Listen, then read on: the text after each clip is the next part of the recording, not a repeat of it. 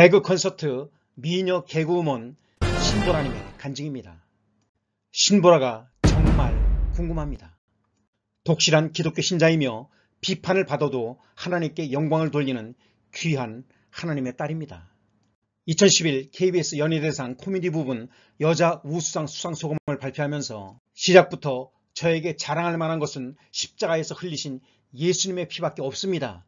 하나님께 모든 영광 올려드리고요 라는 뜬금없고 과도한 종교성 발언을 하여 많은 비판을 받은 적도 있지만 그럼에도 불구하고 그의 하나님께 영광을 돌리는 간증은 계속되었습니다.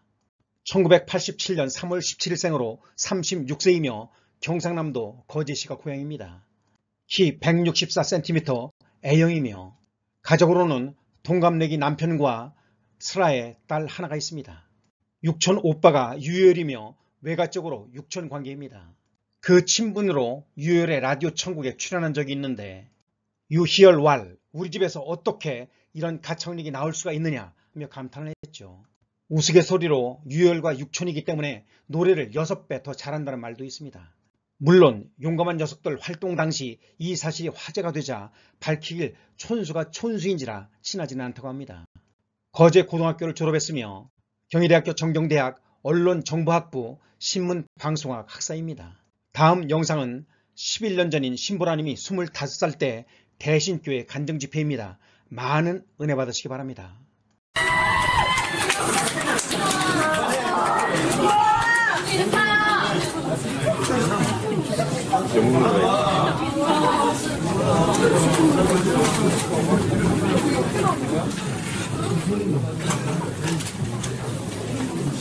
내가 다시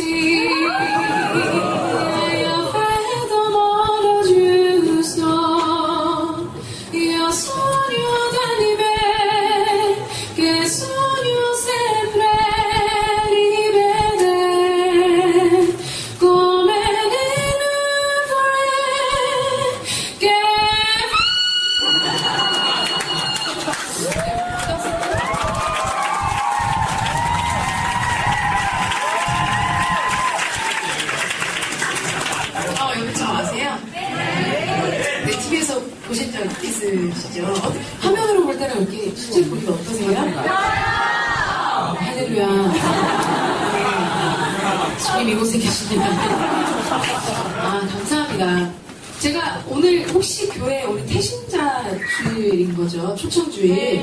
혹시 교회 처음 오신 분 계신가요? 아, 네, 굉장히 많이 있어요. 네. 그게 지금 곳곳에 분들이 많이 계신데, 아, 정말 그, 음, 놀라지 마시고 이렇게 처음 오신 분이 계시다면 같이 이렇게 온 친구분이 정말 그 당신을 처음 오신 분을 너무너무 사랑하는 마음에 지금 초청한 겁니다. 사람이 좋은 음식을 먹고 내가 정말 좋은 곳에 가도 주위 사람들에게 자랑을 하잖아요. 어, 이거 먹었는데 너무 맛있더라. 너무 좋더라. 이렇게 말을 하잖아요. 지금 여러분들을 교회로 초청한 이유는 먼저 경험한 게 있어서 먼저 맛보고 먼저 경험한 게 있어서 좋은 걸 정말 알려주고 싶어서 너무너무 사랑하는 마음에 여러분들을 초청한 거를 이렇게 말씀드리고 싶어요. 그리고 저도 뭐 저를 수식하는 이름이 많잖아요. 뭐 개그우먼이고 지금 개콘 무대에 서고 있고 사람들이 봤을 때는 뭐 한 주 한 주 나와서 웃긴 사람이고 뭐 Heritage Mass Choir에서 사역을 했고 저를 수식하는 이름들이 많지만 정말 제가 여기 온 이유는 제가 뭐 좀 전에 노래를 했지만 제가 이렇게 노래를 잘합니다 뭐 이런 거 자랑하는 게 아니라요. 음, 자랑하는 게 아니라 그리고 뭐 그게 되게 힘들다는 그 KBS 공채 개그맨 그냥 그한 번에 떡하니 붙었습니다 뭐 이런 거 자랑하러 온 게 아니라 이런 거 자랑하러 온 게 아니라 아 네.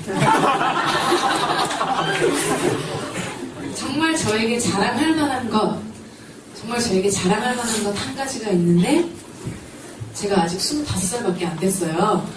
25년 동안 살면서 정말 자랑할 만한 것, 내 삶에 부어주신 하나님의 사랑을 자랑하러 여기 왔습니다.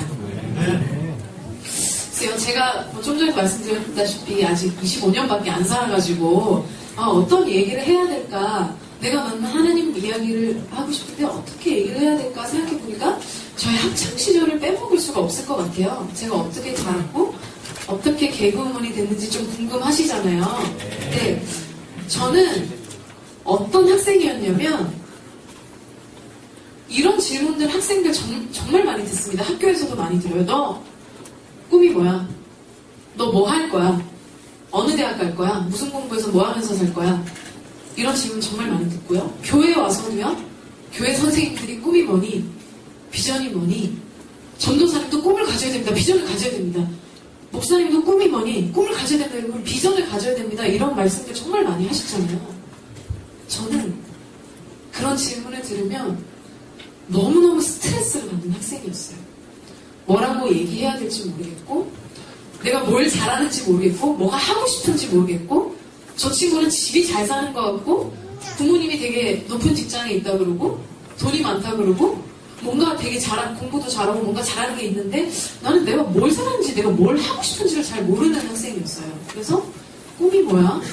뭘 하면서 살 거야? 라는 질문을 들으면, 뭐가 될 거예요? 라고 당당하게 얘기할 수 있는 친구들을 너무너무 부러워하는 그런 학생이었어요. 그래서 뭐 얼버무리고 아, 예, 뭐그 자리 피하고 싶고 뭐 그런 학생이었거든요. 근데 그런 가운데서도 중학교, 고등학교 내가 뭘 잘할지 모르겠어. 당장 다음 주에 있는 뭐 시험이 중요하지 내가 몇 년 뒤에 어느 대학을 가서 무슨 과를 가서 무슨 공부를 4년 해서 졸업을 해서 어, 디 취직해서 내가 뭘 하면서 살게 될지 솔직히 잘 모르겠더라고요.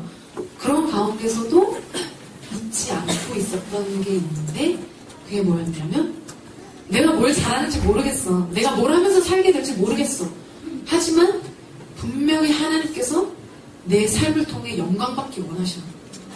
분명히 하나님께서 내 삶을 통해 영광 받으실 거야. 이거는 한순간도 잊지 않고 있었어요.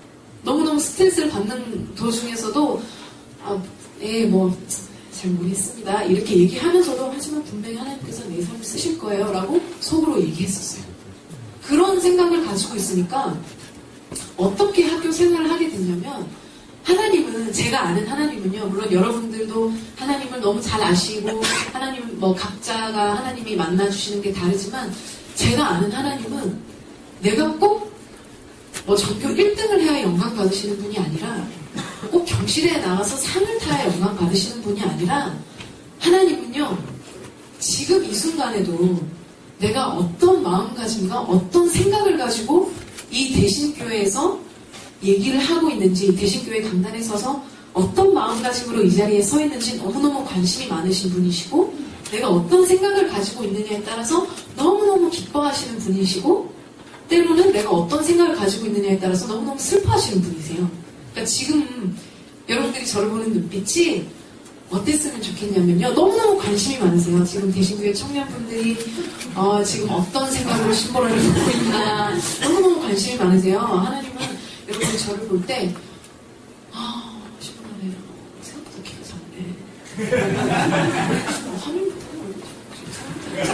뭐 그냥 이렇게 이렇게 뭐 이, 이것에 끝나는 것이 아니라 여러분들이 정말 저를 보는 눈빛이 아 하나님 저 신보라 자매가 지금 여기 와서 간증을 하고 있는데 저도 솔직히 지금 청년이고 대학생이지만 저도 똑같이 꿈과 비전을 두고 너무너무 스트레스를 받아요.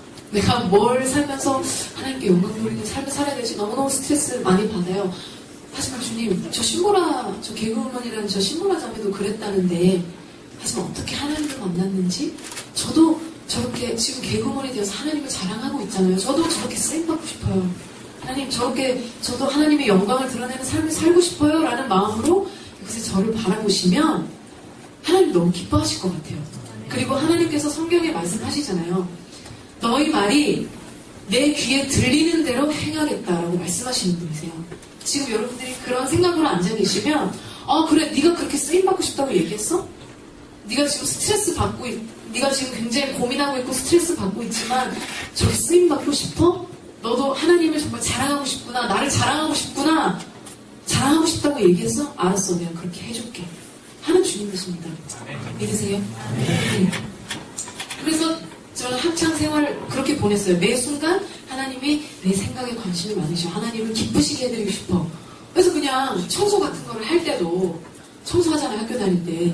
그냥 청소를 할 때 빨리 하고 집에 가가지고 뭐 한번 좀 가져와서 봐야 되겠다. 하는 게 아니라 청소를 할 때도 청소를 할 때도 주님 보고 계시죠? 좀 영광 받으세요 하면서 청소를 했어요. 그리고 뭐 대걸레질 할 때도 그냥 뭐 이렇게 어? 이렇게 하는 게 아니라 그냥 주님 보고 계시죠? 영광 받으세요 하면서 대걸레질 했습니다. 그리고 어, 개그우먼이 되어서도 정말 제가 벌써 몇 개월이 지나면 개그우먼이 된 지 2년이 다 되어 가더라고요. 2년이 되어 가는데 이제 뭐 막내를 이제 조금 벗어났어요. 벗어났는데 할렐루야. 근데 어, 개그맨 KBS 공채 개그맨 막내들이 개그만 할 것 같으세요? 개그만 할까요? 정말 상상을 초월하는 여러 가지 일들을 하는데요. 뭐 예를 들어서 선배님들이 야그 야그 넬라 판타지아 맛 커피 좀 마셔 커피 좀 마셔보자 이러면 저한테 커피 달라는 얘기예요. 그러면 이제 제가 네 하면서 이제 커피를 탑니다. 어, 커피를 탈 때도 지가 되죠. 그러니까 이렇게 타는 게 아니라 이렇게 타는 게 아니라 커피를 할 때도 주님 보고 계시죠? 저 선배를 사랑합니다. 영광 받으세요. 하면서 커피를 타면 정말로 주님이 영광 받으신 걸 저는 느껴요. 정말로. 선배님들이 이런 말씀 하십니다, 저한테. 혹시 슈퍼스타 KBS라는 코너 아시죠? 제가 매주 뭐 견통 붙이고, 텀을 붙이고, 날라가고, 별거 다 하는데요. 슈퍼스타 KBS 코너를 할 때 이제 어떤 선배님이 저한테 이런 말씀 하신 적 있어요. 보라, 너는 뭐 매주 슈퍼스타 KBS 하면서 뭐 가요도 부르고 트로트를 부르고 하는데 너는 근데 뭘 불러도 CCM 같아. 이런 얘기를 하신 적 있어요, 저한테. 근데 지금 생각해보면 그 선배님이 좋은 의도로 말씀하신 건 아니었던 것 같아요. 그때 분위기나 말투나 이런 걸 봤을 때, 너 그냥 뭘 불러도 그냥 다 교회 노래 같아.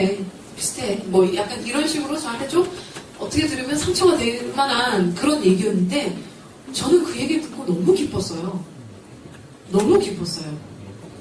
왜냐하면 내가 아무리 개그 콘서트라는 세상 무대에서 세상 노래를 부르면서 트로트를 부르면서 해도 내가 정말 하나님이 함께 하시는, 함께 하는 사람이기 때문에 내가 정말 하나님의 사랑을 받은 사람이기 때문에 내가 뭘 불러도 듣는 사람이 CCM처럼 느껴지는구나.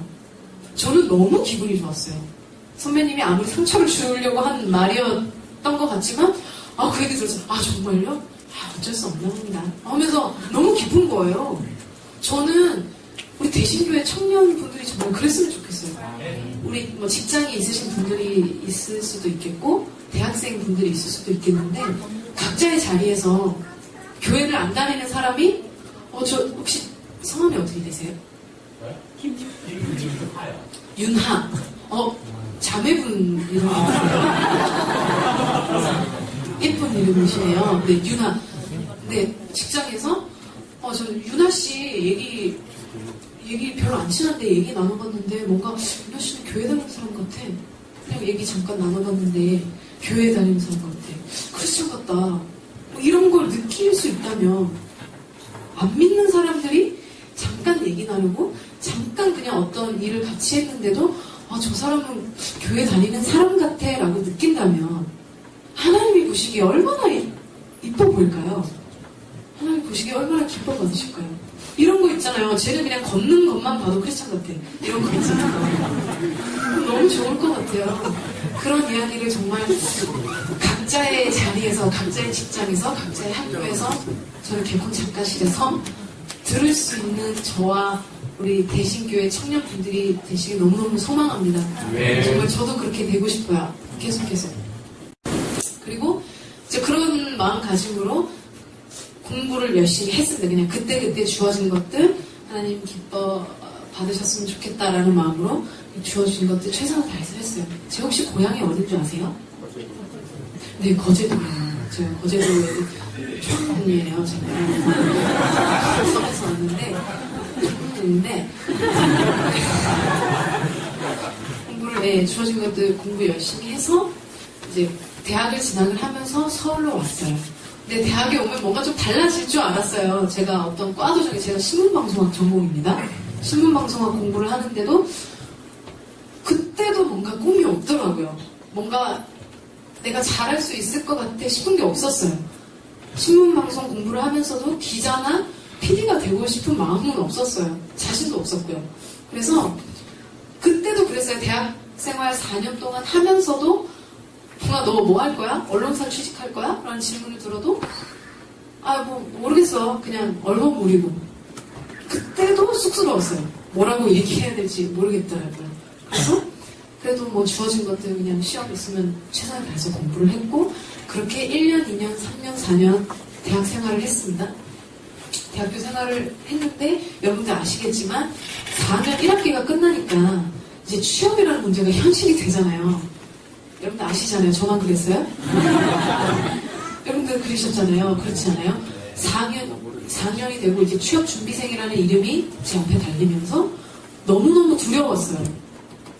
왜냐하면 물론 하나님께서 영광 받으실 거야 라는 마음은 있었지만 세상 사람들이 평가하는 기준 있잖아요. 세상 사람들이 평가하는 기준으로는 제가 자랑할 게 너무 없는 거예요. 제가요 거제도에는 소문이 굉장히 무성하다고 들었어요. 제가 뭐 PD 뭐 딸이다, 뭐 엄청나게 뭐, 뭐 잘 산다더라, 뭐 이런 게 있는데 저는 정말 저희 집이 잘 사는 게 아니에요. 정말 서민이고요. 저희 부모님도 뭐 높은 자리에 있으신 것도 아니고요. 정말 평범한 집안에서 제가 뭐 유학을 다녀온 것도 아니고요.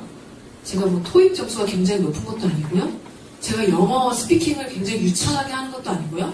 토플 점수가 높은 것도 아니고요. 그리고 어디 뭐 인턴을 해서 경력이 굉장히 많은 것도 아니고요. 아, 자랑할 게 없는 거예요. 사람들은 그걸로 취직을 해야 된다고 얘기를 하는데 자랑할 게 없어서 휴학을 했습니다. 휴학을 하고 새벽 기도에 나가기 시작했어요. 제가 모태신앙입니다. 모태신앙인데 새벽 기도에 나갔어요. 너무 두려웠어요. 왜 너무너무 두려웠냐면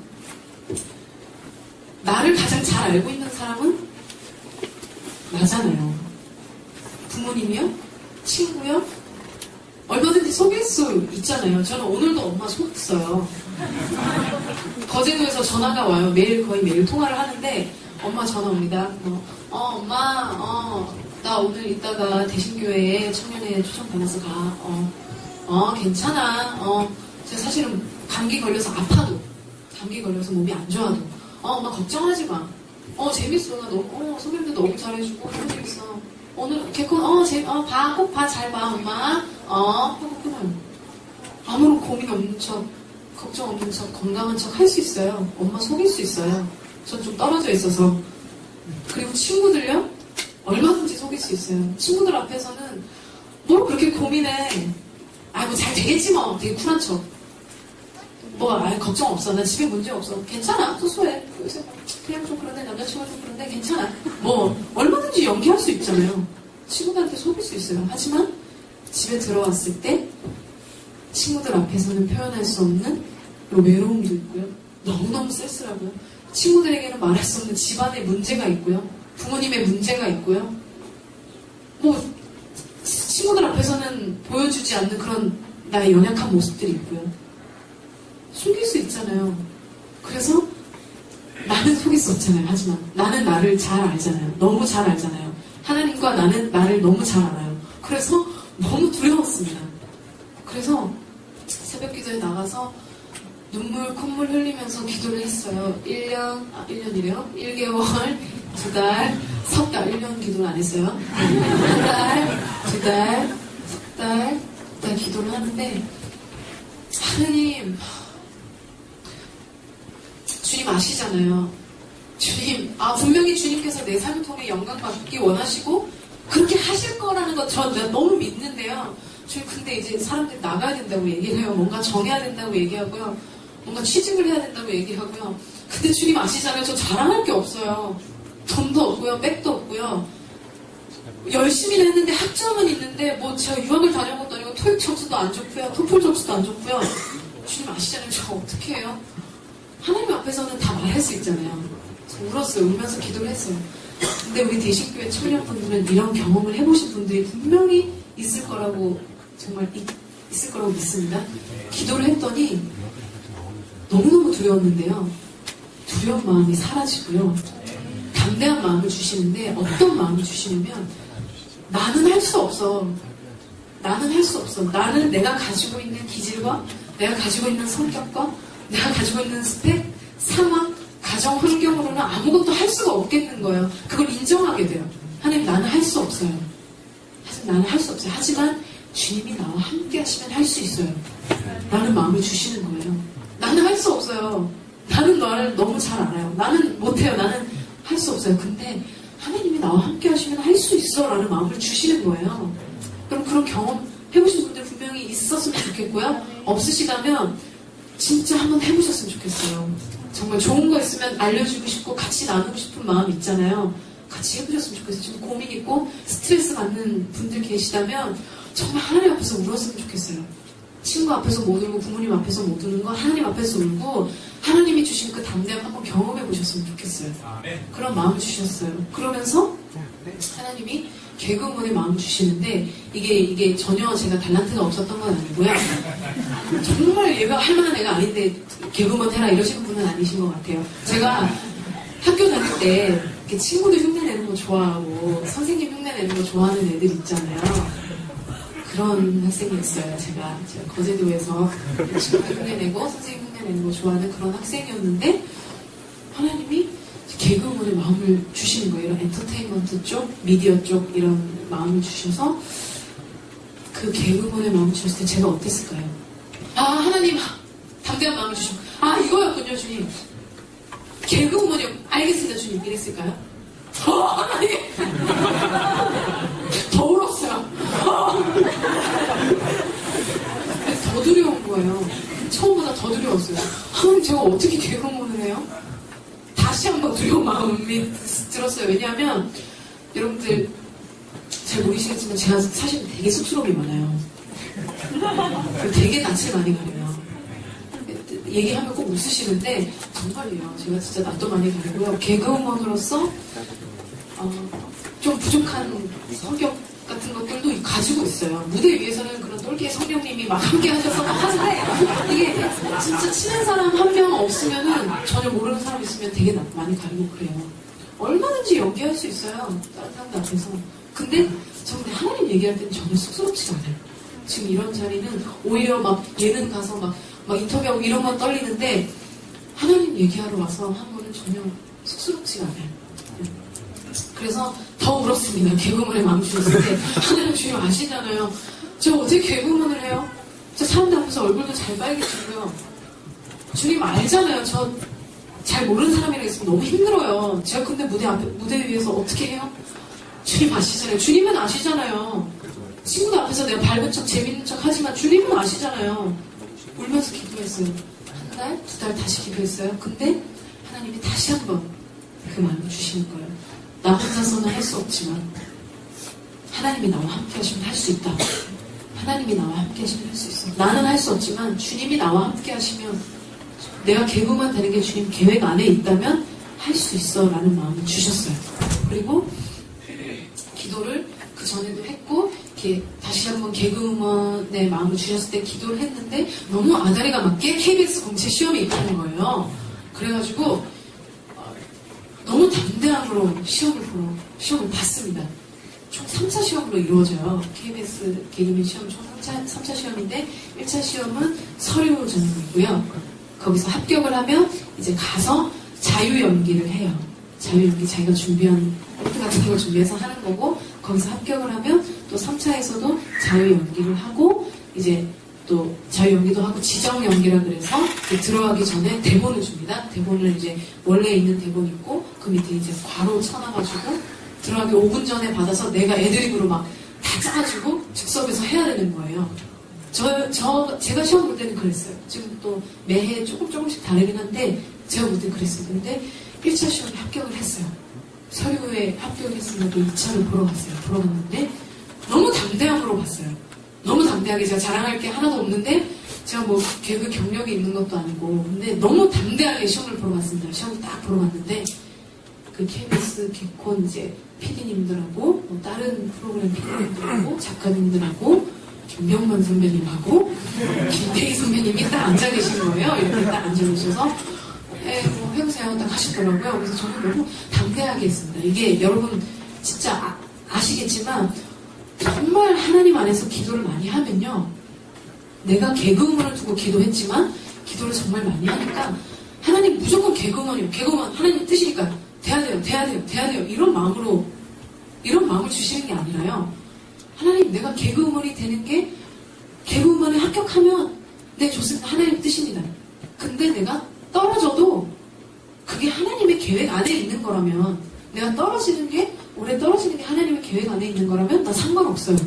라는 마음으로 시험을 보게 되더라고요. 그러니까 너무 담대하게 붙어도 뭐 상관없고 나 떨어져도 하나님 뜻이면 상관없어. 라는 마음으로 담대하게 시험을 딱 보러 가서 아, 이상하게 했어요. 이상하게 하는데 저 신보라 씨 됐고요. 저 개인기 있어요? 이렇게 물어보시더라고요. 그래서 저는 너무 담대했어요. 네, 있습니다. 돼도 되고 안 돼도 되고 하나님 나와 함께 계신데 상관없다 하면서 개인기 있습니다. 그래서 뭘 했냐면요. 샤이니 아시죠? 가수 샤이니 아시죠? 샤이니 조연 군 아시죠? 신세경 씨랑 헤어졌잖아요. 조연군 제가 그 샤이니에 이제 조연군 모창할 수 있습니다 하면서 담대하게 해서 한번 들어보세요. 제가 웃겼는지 안 웃겼는지 주님이 역사하셨는지 안 역사하셨는지 정말로 한번 들어보세요. 한번 해볼게요. 네. 넌 걱정 마, 걱정 마, 나만 믿어보면 됐잖아. 네가 너무 마음에 들어, 어쩔 수 없는 걸! 뭐 이렇게 해서 이걸 했는데, 아, 지금 이 우리 촬영분들이 이곳에 정말 주님의 사랑이 가득해서 웃어주셨지만, 정말 정말 제가 말씀드리고 싶은 건 뭐냐면요. 정말 웃기지 못했어요. 뭐, 물론, 물론 조금 웃긴 웃으셨어요. 어이가 없어가지고. 네, 심사위원들이, 쟤는 뭐야? 전혀 개그를 전공한 애도 아니고, 개그 경험이 있는 것도 아니고, 대학로에서 온 애도 아니고, 너무 멀쩡하게 생겼는데, 지금 뭐지? 이런 마음으로 좀 웃긴 웃으셨는데, 또 제가 말씀드리고 싶은 건, 제가 웃겨서, 제가 정말 개그맨으로서, 아, 쟤는 무조건 붙여야 돼. 쟤는 왜 이제서야 나타났을까? 이런 정말 넘치는 끼가 있어서 개그우먼이 됐다고 저는 단 한 번도 생각을 해본 적이 없어요. 정말로 저는 지금 너무 감사하게 지금까지 개콘 무대에서 노래를 하면서 연기를 하면서 그 무대에 서고 있지만 그게 정말 제가 잘해서 너무너무 능력이 뛰어나서 그 자리에 있다고 저는 단 한 번도 정말로 단 한 번도 생각을 해본 적이 없어요. 하나님이 저를 개그우먼 시키시고 나 지금은 뭐 알 수 없어요. 지금 대신교회 와서 하나님을 자랑하는 것 이걸 보면 정말 이 하나님의 계획 안에 있었다는 걸 다시 한번 느끼게 되는데 개그우먼이 되는 게 하나님의 계획 안에 있었기 때문에 제가 개그우먼이 된 거지. 제가 정말 너무너무 두려울 때 울면서 새벽기도에 나와서 기도했고 하나님이 주신 마음을 가지고 두려웠지만 다시 한번 기도함으로써 주님이 함께 하시면 할 수 있어라는 마음으로 기도했을 때 그 기도를 들으셨기 때문에 지금 제가 개그물이 된 거라는 걸 너무 잘 알아요. 그리고 지금도 개콘 무대에 매주 서고 있지만 세상 사람들은 그래요. 제가 매주 개콘에 나와야 되고요. 세상 사람들의 말하는 형통은요. 제가 매주 개콘에 나와야 되고요. 뭔가 이슈가 돼야 되고요. 잘 돼야 되고요. CF를 찍어야 되고요. 뭔가 해야 되고요. 이름이 더 알려져야 되고 인기가 올라가야 사람들은 형통하다고 얘기를 해요. 지금 너무 감사하게 쉼 없이 개콘 무대에 서서 제 이름이 조금이라도 더 알려지고 있지만 그게 하나님의 뜻 안에 있기 때문에 계획 안에 있기 때문에 제가 그 자리에 서볼 수 있는 거지 저는 제가 개콘 무대에 지금 뭐 코너가 내려서 없어서 편집이 돼서 무대에 안 서도 그게 하나님의 뜻이면 그게 하나님의 계획 안에 있다면 저는 그게 형통이라고 생각하거든요. 그 시간을 통해서 하나님의 일하심을 내가 보고 다시 한번 하나님께 가까이 갈 수 있고 다시 한번 새벽 기도에 나와서 하나님과 친밀해질 수 있다면 그게 나는 형통이라고 생각해요. 저 너무너무 신기한 게 얼마 전에 있었던 일인데 참 뭐 그냥 가볍게 넘어갈 수 있는 일이지만 저는 가볍게 넘어가고 싶지 않아요. 조그만 조금 일이라도 조그만 일이라도 하나님의 계획 안에 있다는 걸 저는 느낄 때 너무 아, 참 하나님 일하시는 게 너무 신기하다라는 걸 느끼거든요. 제가 몇 주 전에 이건 뭐 그냥 옵서 레코드로 우리끼리 개콘 제 생활의 발견이 편집됐어요. 지난주에 안 나온 거 아시죠? 네. 지난, 아, 모르실 수도 있어요. 뭐, 뭐, 그쵸? 우리 이거 아닌데, 뭐, 편집됐다고. 그죠? 나는 알지, 돼요.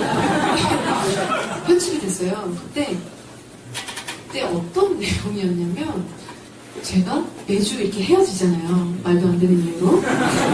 매주 헤어지는데, 뭐, 그거는, 뭐 어떻게 보면 가볍게 생각할 수 있지만 저는 그랬어요. 그때 지난주에 녹화문이 어떤 내용이었냐면 제가 제가 너무 미신 같은 걸 좋아하는 여자여서 어, 근데 그런 여자분들 있잖아요. 그런 것들이 이제 개콘 무대는 공감할 수 있는 걸 끌어내야 되기 때문에 그걸 제가 연기를 했단 말이에요.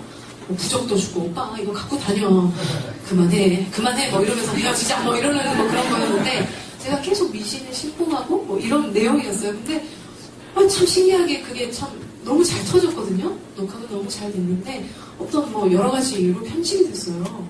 편집이 됐을 때 저는 좀 하나님이 제가 그런 모습으로 방송에 나오는 걸 별로 안 기뻐하시는 것 같았어요.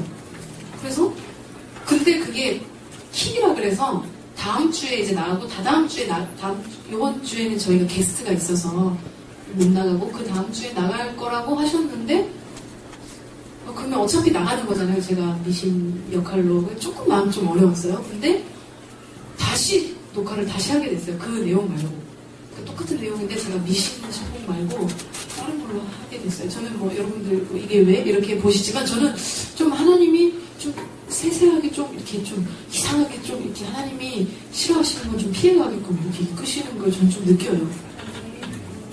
사담이었습니다. 네. 그랬고요. 그랬고요. 그렇게 2차 시험을 받고 합격을 했고 3차 시험을 봤는데 최종 합격을 한 거예요. 최종 합격을 했어요. 그래서 아, 그래요? 그래요. 그 세상 배- 형통 여기까지 얘기를 했어요. 그렇게 합격을 했고 정말 하나님의 계획 안에 있었기 때문에 합격을 했다는 걸 저는 너무너무 믿고 있고요. 지금도 매주 이렇게 서고 있지만 제가 개그우먼에 마음을 주셨을 때 기도했던 것들이 있습니다. 기도했던 것들을 지난 1년, 2년 동안 하나도 땅에 떨어뜨리시지 않으시고 하나씩 하나씩 이루시는 거를 저는 제가 제 눈으로 목격을 했어요. 그러니까 뭐 예를 들자면 제가 어떤 기도를 했냐면 하나님 주님 주신 달란트를 사용할 수 있는 코너를 예비해 주세요. 하나님 주님 주신 달란트를 사용할 수 있는 프로그램을 예비해 주세요. 그리고 제가 너무 모르는데 하나님 저 동기들을 너무 좋은 동기들 좀 예비해 주세요. 그리고 동역할 수 있는 선배님들 하나님 안에서 같이 동역할 수 있는 선배님들이나 뭐 동기들을 예비해 주세요. 여러 가지 기도를 했습니다. 그때 근데 슈퍼스타 KBS라는 코너도 그렇고요. 남자의 자격 합창단 아시죠? 그것도 제가 공채되고 한 달도 안 돼서 신인으로서는 정말 얻을 수 없는 그런 그 프로를 통해서 정말 많은 분들께 제 이름을 알릴 수 있었고요. 그, 프- 그 대회가 어디서 열린 줄 아시죠? 거제도에서 열렸어요. 저는 그 합격 소식을 들었을 때, 어, 시보라 씨 그 합격하셨고요. 합창단 합격하셨고, 그 연습은 6월달부터 할 거고요. 대회는 9월달, 9월달에 있는데, 거제도에서 열려요. 라는 얘기를 들었을 때 저는 털이 섰어요. 정말로, 아, 기도 응답이다. 저는 너무. 아, 내 하나님이 그렇게 얘기하신 거구나. 하시겠고, 그리고 제 동기들도 너무너무 잘하는 동기들이 많아요. 저는 개그를 정말 기본적인 것도 모른 채로 개그우먼이 됐잖아요. 꼭 한 해에 그런 사람들은 있어요. 뭐 박지선 선배님도 그렇고 공부하다가 전혀 이 바닥과 상관없는 삶을 살다가 합격하는 사람들이 좀 있거든요. 그 저 제가 그런 케이스예요. 전혀 개그에 대해서 아무것도 모른 채로 됐는데 제 동기들이 너무 잘해요. 그래서 제가 너무 많이 도움을 받았거든요. 누가 있냐면 뭐 여당당의 김영희도 저희 동기고요. 29살밖에 안 됐고요.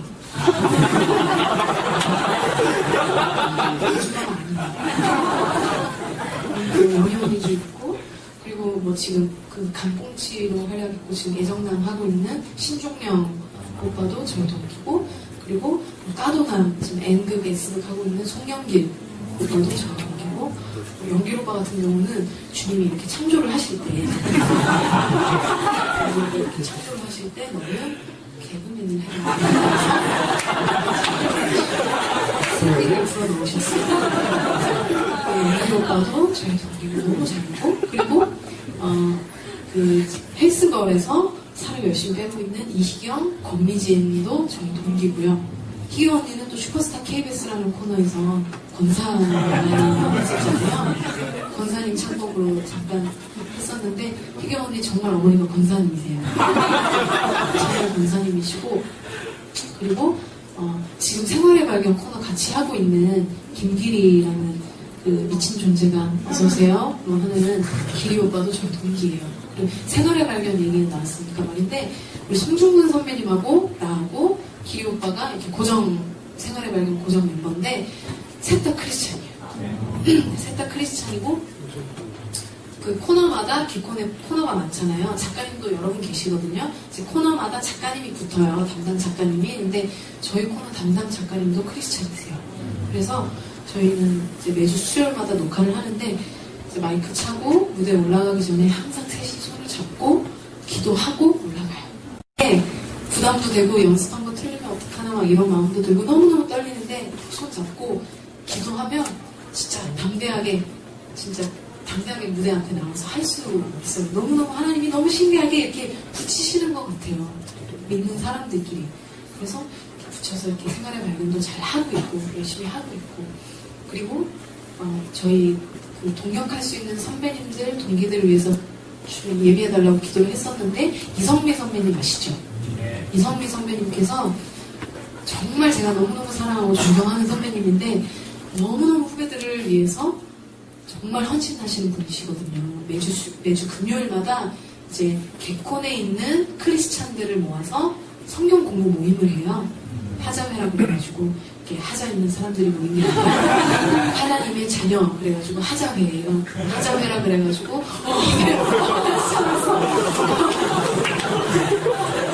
너가 하자회구나. 하자 있는 풍선이 있고요. 어, 진짜 깜짝 놀랐어. 소리가 임하시죠. 네. 이렇게 매주 금요일마다 성경 공부 모임을 하고 있고요. 그래서 제가 개그물이 됐을 때 많은 분들이 걱정을 하셨어요. 그러나 네가 진짜 어떻게 보면 연예계가 너무너무 치열하잖아요.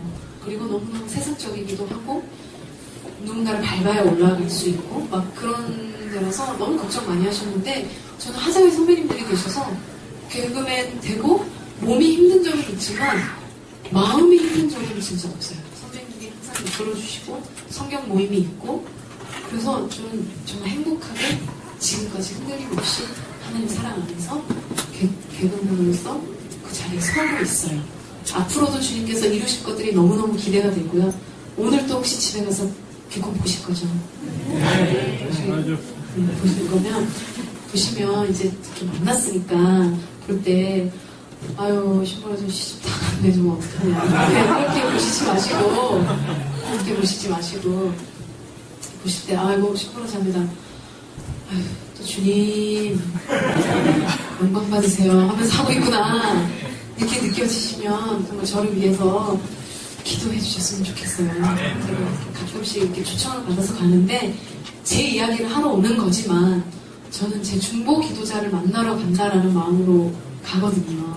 그러니까 저를 위해서 저도 이제 대신교회 청년분들 같은 고민과 같은 시대를 살아가고 있는 청년으로서 음, 어디 있든지 간에 하나님의 영광을 드러내고 하나님을 기쁘시게 하는 마음, 행동, 생각으로 서 있을 수 있기를 그러는 제가 저와 대신교회 청년분들이 되시기를 정말 저로 기도할 테니까 저를 위해서 생각나면 기도해 주시면 너무 감사드릴게요. 혹시 질문 같은 거 있으세요? 유사 형제님.